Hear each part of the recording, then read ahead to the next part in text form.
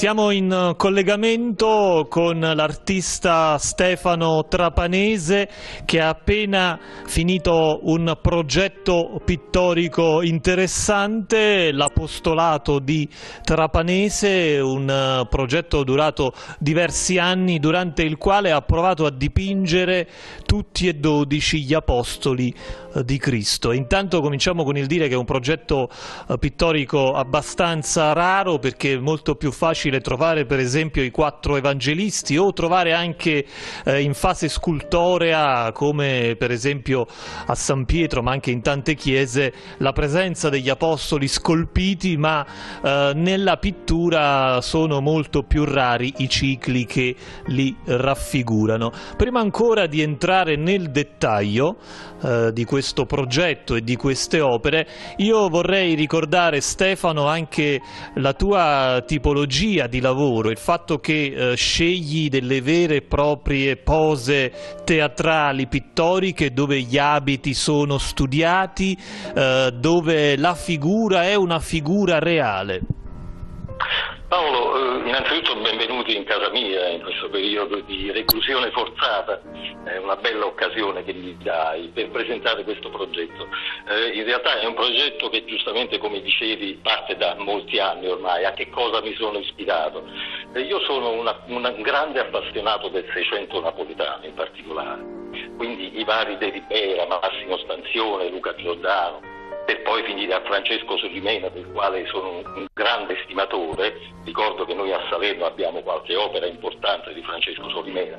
Eh, il, il, eh, il, San Michele che uccide i giganti, che sconfigge i giganti nella chiesa di San Giorgio, che è un dipinto davanti al quale mi va ad ispirare molto spesso, più che altro per le, eh, la, la ricchezza dei toni, dei colori. Perché l'apostolato? Perché in realtà in pochi artisti lo hanno realizzato, sono tutti del Seicento e poi eh, c'è eh, il Pietro Paolo Rubens che ha realizzato un apostolato meraviglioso al quale eh, si potrà vedere anche dalle mie opere, effettivamente mi sono molto ispirato. Mi piace il tenebrismo eh, caravaggesco, ma in particolare il naturalismo che viene subito dopo Caravaggio, quindi proprio il Seicento napoletano vero e proprio.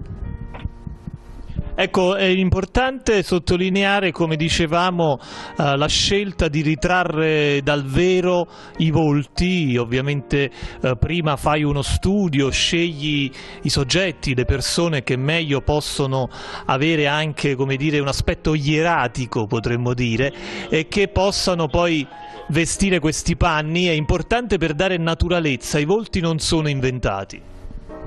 Assolutamente no, anzi trattandosi di santi e eh, per lo più ovviamente dei secoli addietro, eh, ho, cerco sempre dei modelli che abbiano un volto emaciato e eh, una, una somiglianza con le rappresentazioni sacre che sono state fatte nei secoli.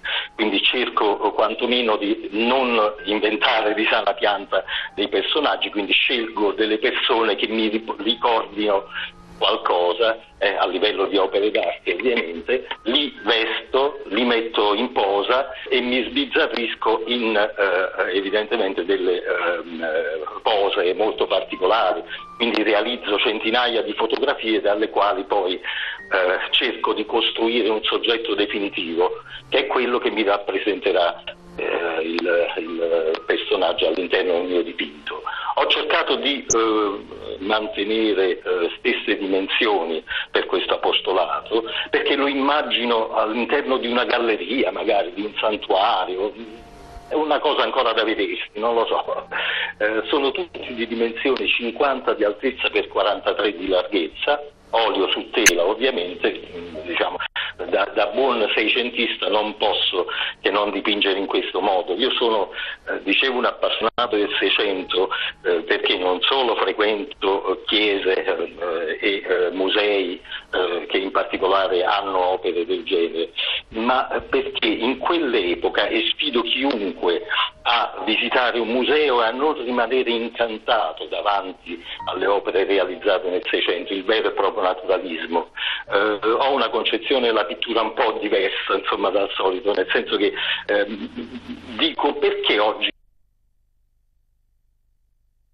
bellezze e allora cercando di sforzarmi con la mia creatività, con la mia fantasia della quale il nostro Signore mi ha voluto dotare, cerco di riproporre quelle orme del passato. Ecco, inutile dire che ovviamente si tratta di idealizzazioni e di intuizioni artistiche perché nessuno, come per Cristo, conosce i volti reali degli apostoli.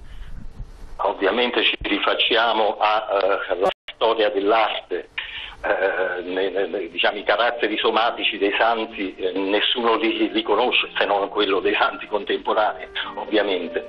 E quindi eh, diciamo, nell'arte eh, per lo più ci si rifà alle scritture, ci si rifà alla morte anagrafica quindi se eh, San Pietro è morto a 66 anni lo si riproduce un po' più avanti. Ecco, ma soprattutto ci si rifà, e questo è come dire anche un canone importantissimo, a quelli che sono gli oggetti iconografici caratterizzanti il santo tramandati dalla geografia. Cominciamo proprio con l'opera che Stefano Trapanese ha accanto a sé, che in qualche modo ha iniziato eh, questo lungo lavoro, questo ciclo pittorico dei dodici apostoli che è, lo possiamo riconoscere appunto dagli attributi, San Pietro.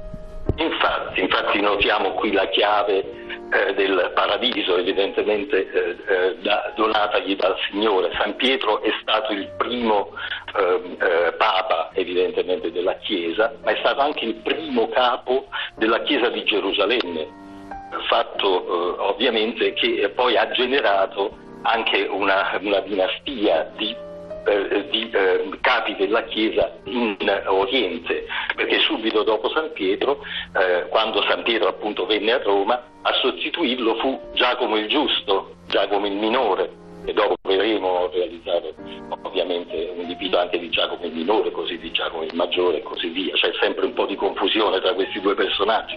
Giacomo il Maggiore ricorderai eh, in Santiago di Compostela, ovviamente venerato, però eh, da qualche parte tempo fa leggevo che nella stessa Santiago di Compostela il cranio di Giacomo il Minore che finisce per aumentare ancora di più questo stato confusionale un po' di... di... Ecco, ovviamente eh, oltre ad essere stato il primo che Stefano Trapanese ha dipinto è anche appunto il successore eh, di Cristo, tanto è vero che il Papa, il, il, il Papa in qualche modo è il successore eh, di Pietro. Molto bello eh, questo dipinto che hai realizzato per San Pietro con eh, la figura del santo che volge lo sguardo al cielo. Insistere, insistere su alcuni dettagli come ad esempio potrai vedere questa mano così, così ricca e nerboruta in qualche modo. Un aneddoto legato a Pietro è, è quello che eh, eh Pietro è stato il papa più longevo fino a metà dell'Ottocento, del, del, secolo, eh, del XIX secolo, eh, perché eh, ha regnato per 20, 25 anni sulla Chiesa. Eh, poi nel 1846 eh, ovviamente eh, il Papa Pio IX ha regnato per 32 anni e successivamente Giovanni Paolo II per altri 25. Sono i tre papi più longevi della storia della Chiesa, una cosa che mi incuriosiva. A me piace sempre scavare anche in questi aneddoti. Ecco, a me piace anche la curiosità sui nomi. Molti dimenticano, per esempio, oggi Pietro è un nome eh, diffusissimo, ma eh, non è il vero nome di Pietro. Il vero nome era Simone, detto Pietro, che significa proprio pietra, Petrus, perché Cristo lo soprannominò così così perché aveva già intenzione di fondare eh, su Pietro la sua chiesa. Pietra fonderò la mia chiesa, infatti.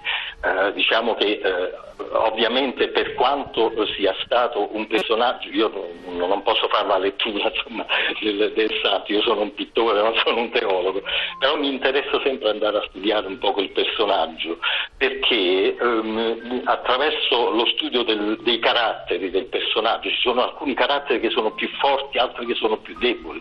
Per esempio San Bartolomeo era un carattere molto forte e allora quindi l'ho dovuto rappresentare, adesso li vediamo mano a mano, così avrai anche un'idea di San Pietro altrettanto mi rappresenta la roccia appunto, cioè la, la pietra sulla quale si fonda la nostra Chiesa. E subito dopo San Pietro rendere queste luci un po' più violente per dare questa impressione della roccia, della forza. Subito dopo San Pietro che cosa hai dipinto? subito dopo San Pietro faccio subito, ho dipinto San Giovanni, diciamo che non sono in, in perfetto ordine di come li ho dipinti. Questo il San Giovanni si vede bene, eh, tra l'altro un, il, il, modello è un, è un, eh, ragazzo di Cava che gestisce una rosticceria a Cava, eh, eh, amico di amici, e praticamente mi, mi, eh, mi così questo sguardo un po' eh, diciamo etereo.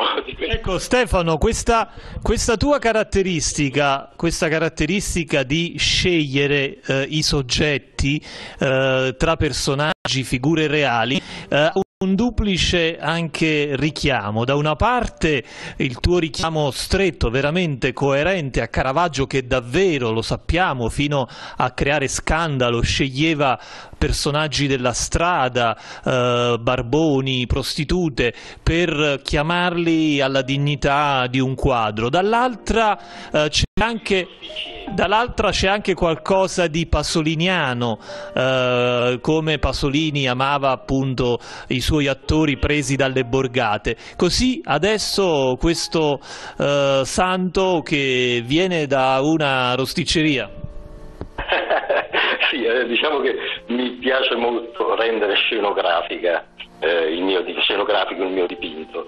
Eh, lo sguardo etereo tipico del teologo San Giovanni, che passa per essere un teologo, un, uno scrittore, eh, eh, ma sappiamo anche che Gesù lo eh, soprannominò il, tuo, il, il, figlio del tuono, quindi significa che era potente anche nell'azione. Eh, ovviamente San Giovanni lo rappresentiamo con i suoi attributi, che sono classici, l'aquila San Giovanni, di San Giovanni e il Vangelo che ha scritto. Questo Vangelo tra l'altro è un, è un libro al quale sono molto legato perché eh, è un ricordo di papà mio, è una, eh, un manoscritto del Cinquecento, figurati, e quindi insomma, mi piaceva inserirlo in, eh, in un contesto insomma, di questi. Ecco, San Giovanni eh, ha eh, due caratteristiche importanti, come dicevamo, una da un punto di vista pittorico, l'altra da un punto di vista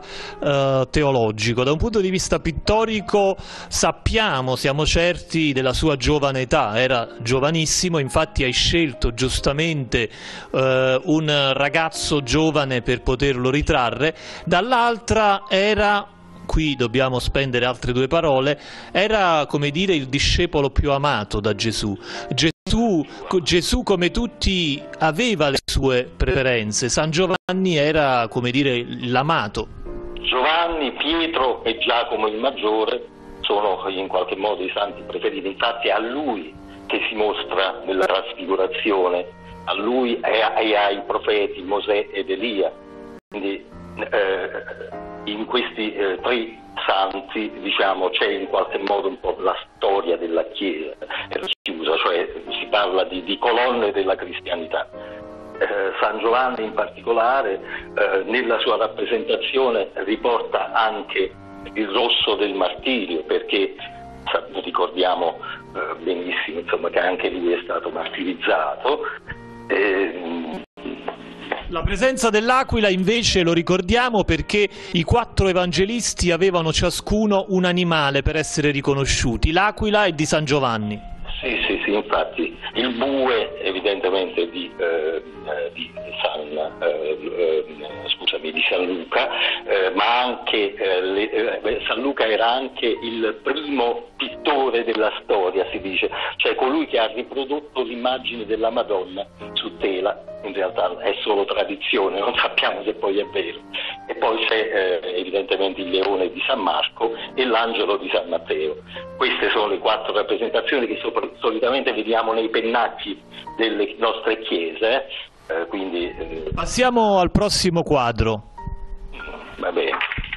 Adesso passiamo al, proprio al San Giacomo Maggiore, quindi restiamo in, in tema, in tema dei prediletti evidentemente. E San Giacomo Maggiore, la, la, la, la rappresentazione classica è quella del pellegrino. Il pellegrino come si rappresenta? Con il cappello del pellegrino, la conchiglia, e eh, diciamo si rappresenta anche attraverso uno stendardo. In questo caso io ho messo questa canna con la zucca che eh, in realtà è una borraccia. Eh, veniva usata la, la, zucca dai pellegrini come, eh, essendo vuota come borraccia per l'acqua. E così come la perché la conchiglia? Perché la conchiglia funge da bicchiere, quindi eh, calandosi eh, solo sull'acqua di una sorgente si può bere tranquillamente attraverso la conchiglia. E ricordiamo che io, tra l'altro, eh, ho, insomma, avuto modo anche di eh, realizzare un dipinto del battesimo di Cristo e la conchiglia viene anche usata da San Giovanni Battista per battezzare il nostro Signore. Eh, quindi insomma è uno dei simboli importanti della cristianità. È inutile dire che San Giacomo è molto molto amato ancora oggi, venerato ed è uno dei santi, come dire, eh, anche amati dai laici, da, persino dai non credenti, perché ogni anno sono milioni coloro che fanno il cammino di Santiago per arrivare a piedi dopo un lungo tratto nel santuario di Compostela. Sì, diciamo che eh, resta ancora questo forte culto. Eh ancora, insomma, è un, è un culto eh, sempre molto eh, fervido, molto attivo insomma, in Spagna, eh, ehm, anche se il, eh, il, suo martirio non lo ha subito in Spagna, dove si recò per evangelizzare, ma bensì in Palestina, credo che fosse stato decapitato, anzi ricordo che è legato anche un episodio praticamente il, il prefetto eh, della Giudea eh, che lo condannò a morte, tornato dalla Spagna, eh, vol, eh, eh, appunto lo volle decapitare e lungo il tragitto verso il patibolo eh, San Giacomo fece un miracolo, compì un miracolo, praticamente sanò un paralitico il quale per ringraziarlo volle essere battezzato e San Giacomo sul patibolo chiese eh, un, di, eh, come ultimo desiderio di essere fornito di un catino pieno d'acqua col quale battezzò questo paralitico che aveva appena sanato e purtroppo però eh, finirono per essere decapitati entrambi addirittura. Questo è un aneddoto legato al martirio eh, di San Giacomo che tra l'altro era eh, San Giacomo il maggiore eh, che tra l'altro era il fratello di Giovanni, fratello di Giovanni Evangelista perché ci sono molti rapporti di parentela tra gli apostoli. Eh? Abbiamo San Giuda Taddeo, fratello di eh, San Simone il Cananeo e fratello a sorta di eh, San Giacomo il Minore, così come San Pietro e Sant'Andrea, anche loro sono due fratelli pescatori.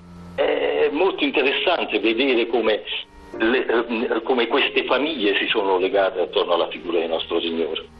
E andiamo avanti con il ciclo pittorico dei dodici apostoli dipinti da Stefano Trapanese e dopo San Giacomo Maggiore vedremo sul cavalletto la figura amatissima del nostro San Matteo. Il nostro Matteo, il nostro Matteo che ovviamente ho rappresentato nella sua rappresentazione classica, e cioè con, con l'angelo. Il San Matteo è lo stesso modello del San Pietro, si noterà una certa verosomiglianza. Eh, si tratta di un, un, pediatra molto noto a Salerno, oggi in pensione, insomma, Felice Chiumiento che saluto caramente come sempre. Anche il bimbo è un, figliolo di un'amica. Eh, in questa rappresentazione ovviamente ho preferito il, il, Vangelo evidentemente davanti a, a, a, San Matteo che in qualche modo viene in, investito di, eh, di eh, tanta saggezza dall'alto dei cieli. Eh? Quindi in qualche modo l'angelo non è come il, il, il San Matteo del Caravaggio dove l'angelo praticamente gli detta letteralmente insomma, eh, il, il, Vangelo. Ecco, qui vorrei dire due cose per Stefano Trapanese che ovviamente non lo dice eh, per modestia, però la prima è eh, quella, vorrei concentrarmi sulla dolcezza di questo angelo bambino, sulla sua tenerezza, eh, di una tenerezza infinita eh, che ha scelto per raffigurare, per iconizzare questo San Matteo. La seconda vorrei ricordare che eh, un San Matteo di grandissime dimensioni nella cattedrale di Salerno, nella navata sinistra, e una scena tra l'altro eh, poliedrica dipinta con un teatro di posa eh, barocco seicentesco realizzato ad hoc eh, nella sala di Santa Pollonia prima di dipingere questo, questa tela enorme. Sì, sì, sì, portare questi, questi due personaggi, questi due modelli all'interno di quella chiesa, eh, ebbi la chiave di questa chiesa dal eh, nostro amico eh, che eh, purtroppo è venuto a mancare e al quale rivolgiamo spesso il nostro pensiero, Peppe Natella, che eh, essendo eh, diciamo, il direttore della bottega San Lazzaro aveva in concessione l'utilizzo di quegli spazi purtroppo sconsacrati da tanti anni.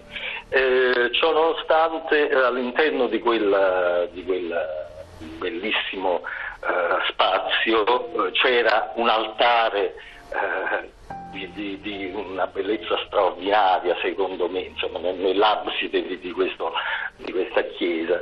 E ehm, perché riportava i classici simboli del barocco, cioè il ricciolo sotto alle colonne, insomma, una cosa, ed ecco che è nata così eh, l'ispirazione, in particolare all'interno della stessa chiesa c'era anche un tavolaccio davvero di quell'epoca, credo che eh, insomma, in pieno stile barocco, anche barocco antico, vecchiotto, abbandonato, eh, perché non usare questi elementi? Qualche altro elemento lo portai io, i modelli li portai io, misi insieme la scena e realizzai questa cosa che eh, poi ho re- regalato alla città di Salerno, eh, parliamo del 2011 e mh, mm, credo che sia stato eh, un, un, gesto che al di là del fatto meramente artistico mi ha donato la, la grande opportunità di rendermi utile per la mia comunità che è una cosa che io, ehm, forse Paolo eh, ricorderà, io ho fatto anche dell'associazionismo fino a qualche anno fa,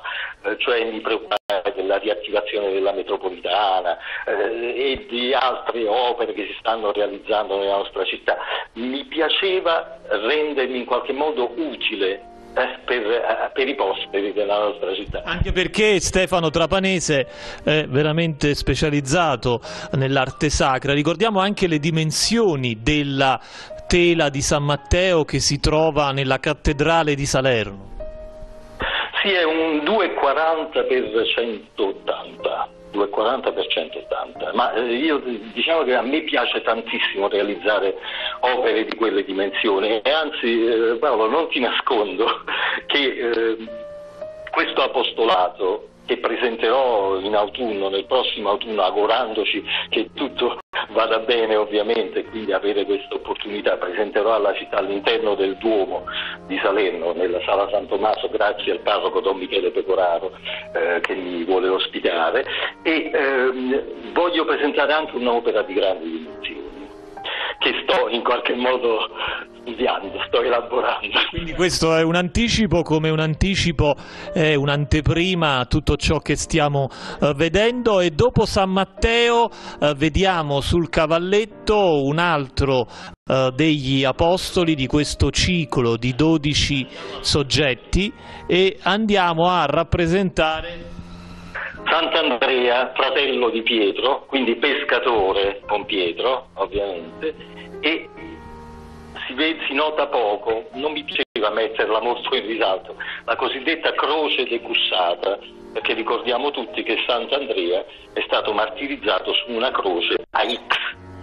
E infatti da allora noi diciamo croce di Sant'Andrea questa croce eh, che ha questa forma strana, questa forma X. Pescatore, quindi si rappresenta anche con la rete del pescatore e ovviamente un telo che ci rammenta sempre il martirio. E qui consentimi Stefano eh, di unire ancora questa tua straordinaria tela che raffigura Sant'Andrea eh, qualche considerazione, il fatto innanzitutto che eh, tre apostoli, lo ricordiamo, c'è anche un libro bellissimo, Tre apostoli per una regione, tre dei dodici apostoli di Cristo, tre dei fidatissimi amici di Gesù sono sepolti nella nostra regione. San Matteo a Salerno, Sant'Andrea ad Amalfi e San Bartolomeo a Benevento. Per Sant'Andrea, oltre al fatto che ne abbiamo due in provincia di Apostoli di Cristo, San Matteo e Sant'Andrea, dobbiamo ricordare anche la specularità, la similitudine estrema tra le due cripte, quella di San Matteo a Salerno e quella di Sant'Andrea ad Amalfi, perché sono veramente due gemelle. Qui hai scelto, hai scelto un soggetto più anziano per Andrea. Sì, ho scelto un soggetto più anziano perché eh, eh, anziano è rappresentato all'interno del cenacolo di Leonardo. Andrea, eh, come, come già pensavo, penso di averti detto, molti pittori eh, per dipingere gli apostoli si rifanno come modello al cenacolo di Leonardo, eh, un una sorta di evitare errori, insomma, per non sbagliare. Eh, e quindi eh, in qualche modo ho trovato una, una sorta di somiglianza tra eh, quello di, di, Leonardo e eh, il mio amico Giovanni De Vivo che si è prestato per questa scena. E da questo bellissimo Sant'Andrea... È stato martirizzato a Patrasso, leggevo da qualche parte, e solo con la quarta crociata fu portato ad Amalfi il corpo di, San, di Sant'Andrea. Eh, però c'è stata sempre questa sorta di eh, 看过 compiuto dai crociati, soprattutto per ciò che riguarda le reliquie sante, al punto che eh, negli anni 60 del Novecento eh, Papa Paolo VI eh, volle rimediare in qualche modo a questo furto mandando il cranio di Sant'Andrea a Patras, quindi nella chiesa di Sant'Andrea. E qui in verità Stefano c'è anche un altro motivo in questo dono del Papa, e cioè che Andrea come Matteo è veneratissimo eh, nella chiesa ortodossa, quindi voglio dire anche un, un ritorno alle, al discorso ecumenico. Andiamo avanti perché il tempo stringe, cambiamo il quadro, eh, passiamo da Sant'Andrea al prossimo apostolo dipinto da Stefano Trapanese. Questa è una persona che mi manca molto in questo periodo. Si tratta di San Tommaso, eh, mi, mi, manca molto perché è il mio parrucchiere. Ed è ovviamente di questi tempi insomma ce ne sarebbe tanto bisogno. Pierpaolo è un ragazzo di cava sempre, eh, il quale eh, diciamo, preso, ovviamente gli attributi iconografici del San Tommaso sono il dito dell'incredulità e lo squadro dell'architetto, perché è il patrono di geometri, architetti. E, ehm, poi c'è anche questa, questa sorta di eh, di eh, libro perché lui ha scritto molti libri e eh, addirittura si fa risalire a lui anche un Vangelo apocrifo, cioè non riconosciuto dal canone. Ehm, ho voluto simboleggiare questa mano che è, ovviamente è idealizzato Cristo in questa mano, in qualche modo vuole fermare questo gesto, però Tommaso è un po' lo specchio di tutti noi, cioè una persona eh, diciamo non ipocrita che eh, mette a nudo le sue emozioni, non crede se non mette il dito, insomma, se non tocca il costato di nostro Signore.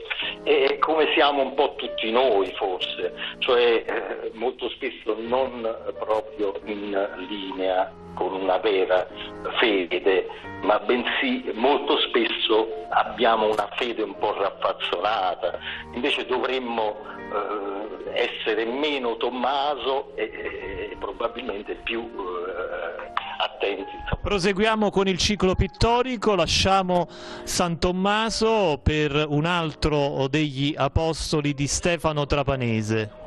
Poco fa, eh, Bartolomeo, Bartolomeo eh, del quale evidentemente l'attributo iconografico è il pugnale.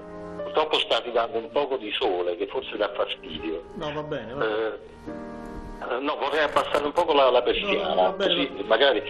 Aspetta, aspetta, faccio velocemente. E vediamo quindi eh, San Bartolomeo, come dicevamo prima, che è stato anche citato come uno dei tre apostoli nella nostra campagna, sepolto a Benevento, tre apostoli, una regione. Proseguiamo quindi con il San Bartolomeo di Stefano Trapanese. Filippo, eh, praticamente lui ebbe eh, questa notizia eh, dell'arrivo del Messia proprio da Filippo e vedremo dopo nella prossima rappresentazione e eh, in qualche modo anche lui fu un po' incredulo, lui eh, abita eh, tra l'altro di una città vicina a Nazareth eh, che si chiama Bethsaida e eh, eh, c'era un po' di campanilismo tra le due città, infatti lui pensava che da Nazareth non potesse, Nazareth non potesse generare un messia, quindi un po' questa, questa sorta di campanilismo tra le città, erano città molto vicine, Bethsaida e Nazareth, parliamo di pochi chilometri, 5-10 chilometri. E quindi questa è una cosa un po' particolare. Ovviamente il pugnale, perché il suo martirio ha subito forse uno dei martiri peggiori, e cioè scuoiato letteralmente vivo dai romani. Prossimo, prossimo apostolo? Ed eccolo qua, è proprio Filippo del quale parlavamo poco fa. San Filippo.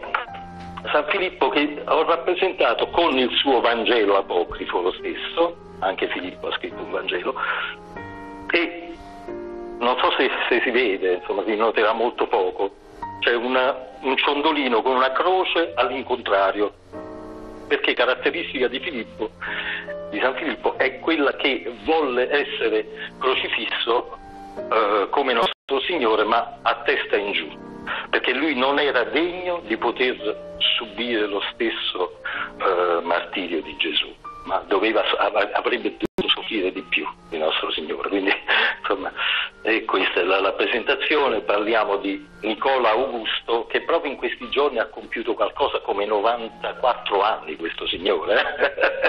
Eh. è una, una, persona svelta, sveglia, bellissima. Lasciamo San Filippo per passare ad un altro apostolo di Stefano Trapanese personaggio che è abbastanza noto a Salerno, questo è, eh, si tratta di San Simone Cananeo, San Simone il Cananeo, eh, abbastanza noto a Salerno perché eh, in realtà ehm, parliamo di Matteo Cantarella che è professore di musica e è uno dei musicisti del gruppo I Castellani di Giovi, eh, che eh, poco fa ho visto eh, proprio su Telediocesi una trasmissione dove c'era la nostra vice sindaco Eva Rossa, eh, che eh, sappiamo essere una presidente onoraria dei Castellani di Giovi in qualche modo. Ehm, il San Simone Cananeo si rappresenta con la sega eh, perché anche lui ha subito un martirio molto cruento, molto violento, fu letteralmente fatto eh, a pezzi dai romani. Eh, perché un, un, martirio così cruento? Perché in realtà San Simone il Cananeo, anche detto lo zelota, eh, laddove gli zeloti erano eh, i fondamentalisti eh, armati contro i romani, eh, ed ecco che eh, in qualche modo eh, ecco perché ha subito un, un, martirio così violento da parte dei romani stessi che eh, si volevano evidentemente vendicare nei confronti di San Simone. Lasciamo San Simone. E dopo San Simone Cananeo andiamo avanti con eh, quale santo oh, della, del ciclo di Stefano Trapanese?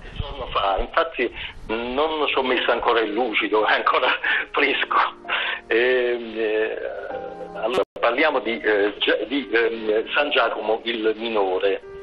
San Giacomo il Minore che eh, ho rappresentato con il papiro perché sono note, le, le, è nota la lettera di Giacomo che viene, che viene eh, letta come, veniva letta come amelia, omelia nelle assemblee e eh, riporta una dicitura in greco che io mi sono anche segnato approfittando di avere un figliolo che studia lettere classiche, eh, anzi è laureato in lettere classiche e eh, una dicitura greca che riporta uh, utos kai e glossa micron melos estin kai megala auchei.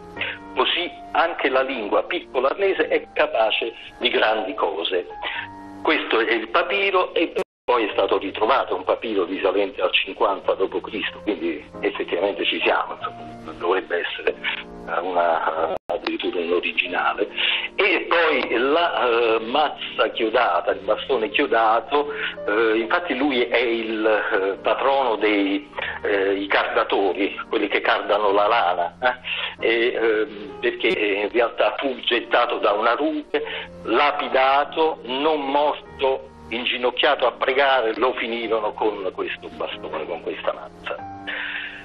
E andiamo avanti, l'ultima rappresentazione che ho realizzato è quella del nostro San Mattia, dove San Mattia è il, eh, il, l'apostolo estratto a sorte, infatti et dederunt sortes eis cecidit sors super Mattiam, cioè la, la, sorte decisa su Mattia. Fu molto caldeggiata questa candidatura da San Pietro, del quale era amico, e eh, il, eh, lo strumento del martirio è questa ascia, anche se tradizione vuole che sia questa ascia, ma molto probabilmente non ha conosciuto una morte violenta. Ecco Stefano, qui dobbiamo ricordare però ehm, che, Giu, che, va a sostituire Mattia Giuda Iscariota, Giuda il traditore eh, che eh, appunto eh, sguarnisce le fila dei dodici e quindi prende il posto di Giuda che poi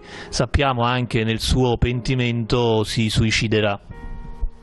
Sì, infatti immaginiamo questa sorta di, di eh, diciamo, eh, sorteggio appunto tra due candidati, perché in realtà erano due candidati, mi pare che l'altro fosse Giuseppe, un, uno dei discepoli ovviamente di Cristo, quindi Giuseppe e Mattia, alla fine fu sorteggiato Mattia in sostituzione del suicida Giuda Iscario, l'Iscariota, eh, perché della, della, città di Iscar. E, mm, resta l'ultimo da realizzare che è questo qua, il, il San Giuda Taddeo. Uh, ho già idea di chi utilizzerò come modello, pur non avendo la possibilità di farlo venire fisicamente qui nel, nel mio studio, praticamente, però ho realizzato già delle, delle, fotografie in passato, insomma, quindi mi servirò un po' di volti eh, già fatti, di altrettanto di vestizioni già realizzate, metterò su una scena in pieno coronavirus, nonostante eh, diciamo, non avere la possibilità di averlo davanti a me, insomma, però già ho idea di come verrà. Noi ringraziamo Stefano Trapanese, questa anteprima vi abbiamo proposto l'intero ciclo pittorico dei dodici apostoli, l'apostolato di Trapanese che verrà, eh, ci auguriamo, eh, in tempo a San Matteo eh, per la festa patronale nell'atrio del Duomo, nella sala San Tommaso, verrà esposta proprio nell'ambito dei festeggiamenti patronali. Questi dodici apostoli confermano anche l'arte di Stefano Trapanese, la sua specializzazione nei cicli pittorici di arte sacra, ci sono tante chiese del territorio che vantano un'opera di Trapanese, in primis la chiesa madre, la cattedrale di San Matteo, come abbiamo ricordato, che custodisce un grande San Matteo, una tela enorme di 2,40 metri. Ho anche un'altra opera di grande dimensione a Salerno eh, ed è una, eh, una, una, discesa dello Spirito Santo nella chiesa di San Paolo al rione Petrosino. È un dipinto di grandi dimensioni, 3 metri per 2 addirittura. Queste sono le due opere pubbliche che ho diciamo, in mostra permanente a Salerno, ehm, però poi ne ho tante sparse nel Cilento più che altro, dove resiste una una forte fede da, da, da parte insomma, de, degli abitanti di, di, quei posti e quindi anche l'azione la, uh, in qualche modo uh, di catechesi che svolgono questi dipinti, eh, che non è da sottovalutare Paolo, oggi credo che sia una cosa abbastanza importante, hai visto com'è interessante andare a, a scavare negli attributi iconografici, ad esempio dei santi apostoli, credo che sia un qualche cosa davvero poco conosciuto. Perché non farlo eh, vedere eh, ai nostri concittadini? Ed è stato proprio questo il nostro intento, noi ti ringraziamo e dopo questa anteprima avremo la possibilità appunto a settembre di vedere dal vivo queste tele, i dodici apostoli di Stefano Trapanese.